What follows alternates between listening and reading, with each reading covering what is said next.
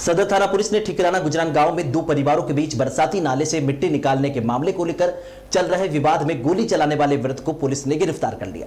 Police ने शनिवार सुबह आरोपी का न्याजकी अमृतकर अस्पताल में मेडिकल करवाया और ब्यावर न्यायालय में वकीलों का कार्य बहिष्कार होने के कारण उसे अजमेर स्थित न्यायालय में पेश किया गया। जहाँ पर न्यायाधीश ने उसे न्यायिक अभिरक्षा में भेजने के आदेश दिए।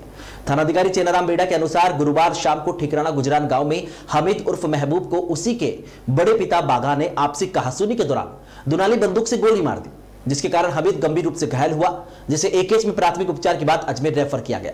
घटना के बाद आरोपी बाघा अंधेरे का फ़ायदा उठाकर खेत में खड़ी फ़सल और झाड़ियों के बीच जाकर छिप गया। पीड़ित हमीद पर गोली चलाने के मामले में शकुर पुत्र मदन की ओर से शुक्रवार को रिपोर्ट पेश की गई, जिसके आधार पर पुलिस ने आरोपी बागा पुत्र लालाराम को धर दबोचा। पुलिस टीम में सीआई बेड़ा के साथ ASI Noor Mohammad, constable police line Ajmer Praveen Chaudhary, Balveer Singh, Ajay, Ramprasad Sukhpal, Manoj, Mukesh, Harindra और राजू राम शामिल रहे। मामले की खास बात यह रही कि गोली चलने से पहले दोनों के बीच काफ़ी नोकझोंक हुई। हमीद ने बाघा को अपने ऊपर बार बार गोली चलाने के लिए उकसाया भी, जिसके चलते आवेश में आकर बाघा ने गोली भी चला दी।